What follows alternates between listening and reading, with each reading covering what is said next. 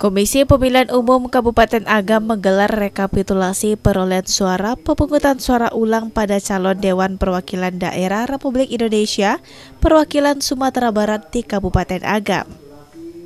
Rapat rekapitulasi ini dihadiri oleh semua penyelenggara PSU, mulai dari KPPS, PPS hingga PPK.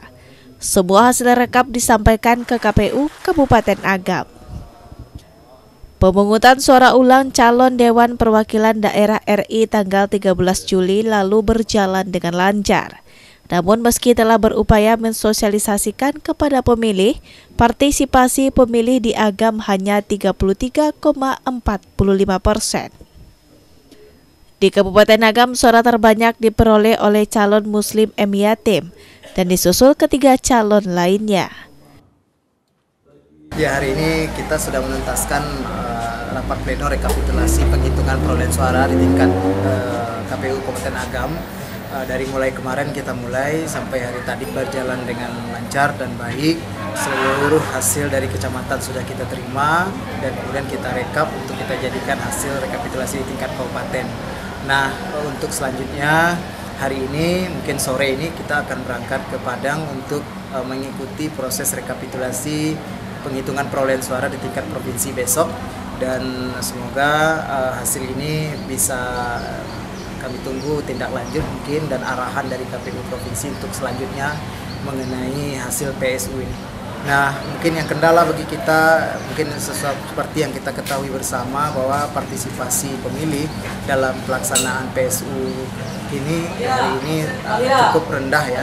Kalau di, tercatat di kita melalui hasil dari tadi, hasil rekapitulasi kita itu hanya sampai di angka 33,45 persen tingkat partisipasi pemilih kita.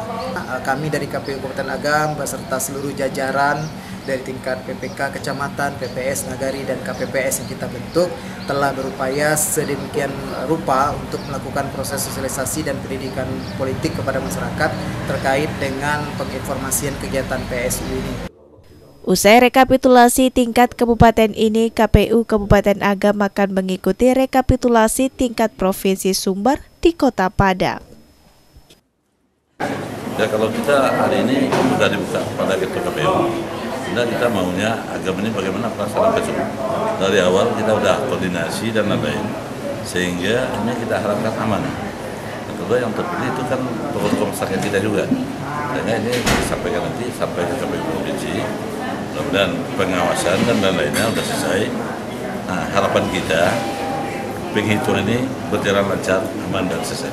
Pertama kita ucapkan selamat kepada para tokoh kita yang terpilih yang berhasil. Harapan kita tentu nanti aspirasi masyarakat kita bisa dijawab.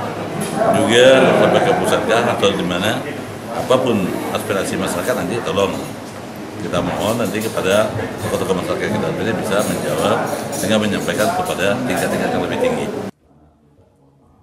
Afrizon AB, Padang TV.